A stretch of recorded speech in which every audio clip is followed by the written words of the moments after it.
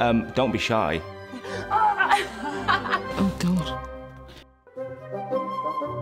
Go to as much as you can and just really immerse yourself in the RCM culture because the more you put into college, the more you get out.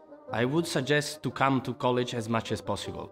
Just don't stress, you know, you have all the time, you have um, four years and like it doesn't seem like that much, but it really is a long time. Don't take anything for granted while you're here. So really just do everything.